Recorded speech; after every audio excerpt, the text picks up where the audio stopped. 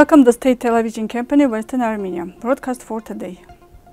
The speech of the Speaker of the Government of the Republic of Western Armenia. The churches of Kirants and Voskepar are now called as Aghvanian monument.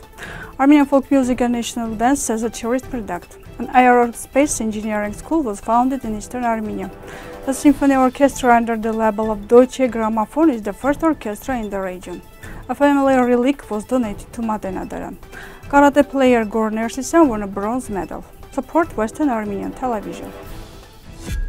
On June 15, Armine Sahakyan, the Speaker of the Government of the Republic of Western Armenia, made a speech and briefly presented the important events of the past week within the framework of the Republic of Western Armenia.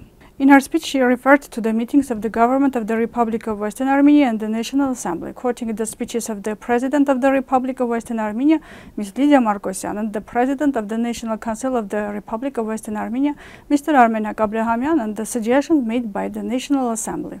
The speaker quoted the speech of the President of the Republic of Western Armenia, in which Ms. President in particular emphasized about the importance of the Armenian language and suggested again to hold sessions in the Armenian language. Also, Ms. President reminded the knowledge and application of the Treaty of Sevres regarding the stable establishment of the Republic of Western Armenia as a state and government. Ms. President emphasized, I am quoting here, Although we are still a young government and we will need years to achieve the final victory, but we will achieve our goals and the final victory step by step with our daily work. Continuing to present the progress of the week, Armine Sahakyan spoke about the speech of the President of the National Council of the Republic of Western Armenia, Menak Abrahamyan, on the most important provisions of the Treaty of Sevres and quoting the words of the President that I am quoting here. We must support the implementation of the Treaty of Sevres and bring it to life. We elected a president based on the national constitution and ratified the Treaty of Sevres. The state of Western Armenia ratified the Treaty of Sevres, therefore the 8th anniversary of its important event is coming soon and we will celebrate that significant event on August 10, the Treaty of Sevres was also signed by Sultanate Turkey by order of the Sultan, and there are videos which are important and significant facts, and we must use them for the benefit in favor of the stable establishment of our Republic of Western Armenia, stated the President, Mr. Armenak Abrahamyan. Continuing to present the progress of the week, uh, the speaker also spoke about the proposal made by the chairwoman of the National Assembly of Western Armenia, Nelly Harutyunyan, regarding the grant application model for implementing the program presented by our institutions. You can learn more details of the speech of the Speaker of the Government of the Republic of Western Armenia through the following links. Baku now calls the eastern and southern regions of Eastern Armenia as Western Azerbaijan. They present our native land as Azerbaijan and Armenian culture they present as Aghvanian or Turkish. This is reported by the Monitoring of the Cultural Heritage of Artsakh, independent academic platform. In this context, Baku also referred to the monuments in the demarcation area to their so-called Aghvanian origin and the elimination of Aghvanian traces by renovation of the Armenian site. This time they called Church Saint Yerortutun of the village of Kirant and said Աստվածածին ոսկեբար a Aghvanian monument and Kirants village St Trinity Church of Kirants village is a 19th century free nave basilica church built of local rough stones. Now the repair works are being carried out aimed at the initial form of the structure. The main features of the monument is the three pairs of complete stone pillars supporting the roof. St. Astvatsatsin Church of the Voskepar is a structure dating from the end of the 6th century and to the beginning of the 7th century. Inscriptions have not been presented on the structure. The cross design is especially unique on the building. The church is currently undergoing repair for on the root of the structure. In the near future, active work will be carried out in the direction of presenting Armenian folk music and national dance as a tourist product. The start of the activity was given by the cooperation agreement. Tourism does not always have an economic meaning. It has a very important social, cultural, and even political significance, noted Mekhak Apresyan, the head of the Armenian Tourism Federation, and added that the tourism sector has great opportunities to adequately represent the entire cultural diversity of the Armenian people. Dance ensemble concerts are expected to be included in tour packages introducing Armenian culture to tourists. Travel companies are already selling tours for 2025 and it is extremely important that they today can know clearly about the next year's concerts and festivals. The dream of Aren Mehrabian, the hero of 44-day war, was to create an aerospace machinery industry in Armenia. In order to make Aren's dream come true, the boy's parents decided to implement an education program giving many young people the opportunity to receive free education in relevant fields. The courses are held at the Aren Mehrabian Foundation named after the hero.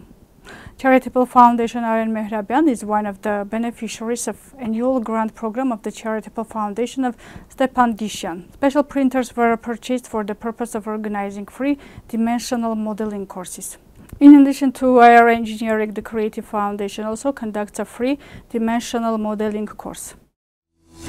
Armenia State Symphony Orchestra of Eastern Armenia is the first orchestra in the region to release an album under the world-famous label Deutsche Grammophon. The orchestra reports that the album, titled Aznavouriana, is dedicated to the works of Charles Aznavour. It features the living music of art of Sar Aznavour.